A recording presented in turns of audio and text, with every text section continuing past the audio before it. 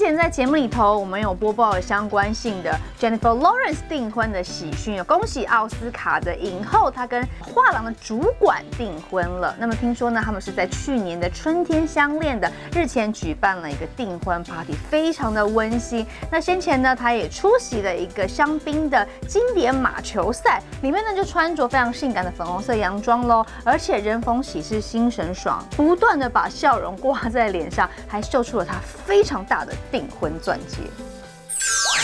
小珍妮佛一袭粉红色细肩带洋装，性感深 V 剪裁露出姣好身材，与其他好莱坞明星同桌，一起欣赏凯歌香槟马球经典赛。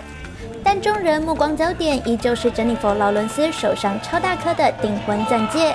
脸上洋溢着幸福，开心宣传最新电影《X 战警》。I'm really excited for X Men to come out. I've, like my um, I'm excited about my storyline in that. And, um, I'm I'm excited. I haven't seen it yet, so I'm, I'm looking forward to that.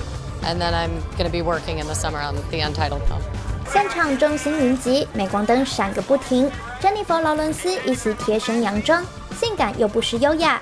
搭配价值十万美元的闪亮婚戒，不止令人惊艳，也让现场弥漫幸福氛围。